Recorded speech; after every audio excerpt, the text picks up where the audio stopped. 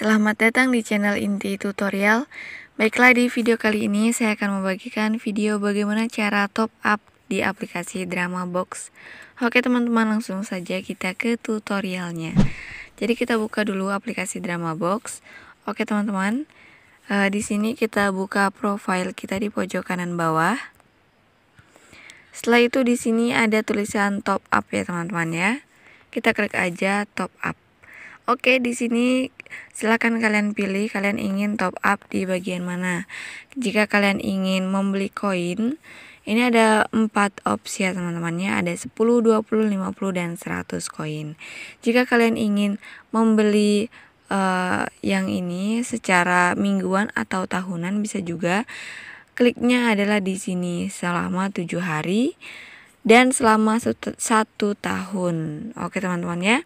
Itu tadi cara top up di aplikasi Drama Box. Semoga video ini bermanfaat. Jangan lupa like dan subscribe. Terima kasih.